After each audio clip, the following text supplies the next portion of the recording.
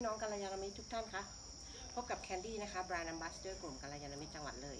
ตอนนี้แคนดี้อยู่ที่พีเตอร์กรานโฮมสเตย์ศูนย์เรียนรู้นานาชาติกลุ่มกัลยาณมิตรจังหวัดเลยสาขาหนึ่งค่ะ เห็นข้างหน้านี้ไหมคะ ข้างหน้าที่เพื่อนๆเห็นนี่ก็คือแปลงผักที่แคนดี้เตรียมไว้ตั้งแต่วันก่อนนะแคนดี้ก็เอาใบไม้ เศษใบไม้ซากใบไม้ต่างๆเนี่ยมากอไว้ หมักไว้ตรงนี้นะคะ ทั้งหมด 3 แปลง แล้วก็ใช้กระถางมารอบเพราะว่าเราไม่มีดินนะคะ เราก็ไม่ต้องขุดดินด้วย ไม่ต้องเหนื่อย แต่อาจจะไปขุดมาจากที่อื่น อันนี้มาจากราชบุรีนะคะ นี่ดินขุยไผ่แท้ราชบุรี แล้วก็มีกากมะพร้าวนะคะ ที่เราหาซื้อได้ตามท้องตลาด แคนดี้ก็เอาดินที่แคนดี้มีอยู่แล้วที่แคนดี้หมักไว้ที่บ้านเนี่ยเป็นดินที่มีใบไม้นะคะ สั่งสมกันเป็นสิบสิบปีเนี่ยแคนดี้ก็มาผสมกับดินราชบุรี